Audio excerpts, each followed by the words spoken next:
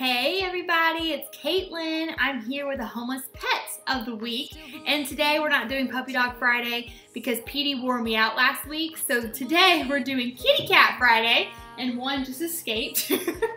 Let me grab one quick. Okay, we're back. Here we go.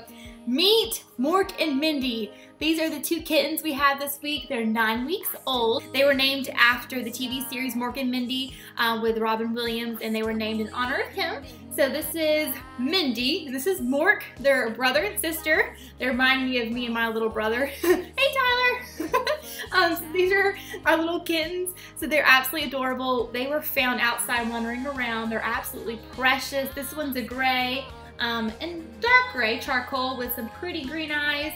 This one's black with some pretty bluish greenish eyes, but they're so sweet. They're being pretty good. This one's a little bit more rambunctious compared to the black one, um, but they're just adorable little kittens that just need some good home. So if you're looking for a kitty cat, then uh, these might be the perfect ones for you. Um, they're absolutely adorable. They're so sweet. Um, if you would like to call for more information, the number is 678 354-9841. And then also you can see where I'm wearing my Homeless Pets Foundation t-shirt. If you're ever interested in volunteering, all you have to do is go to homelesspets.com and click on volunteer and you can apply to be a volunteer for us and you can come help walk dogs, which I'm actually going to do later today. We always have a, uh, a time on Tuesdays and Thursdays where we go out and walk all the doggies and play with them and give them a little free time to be a normal dog.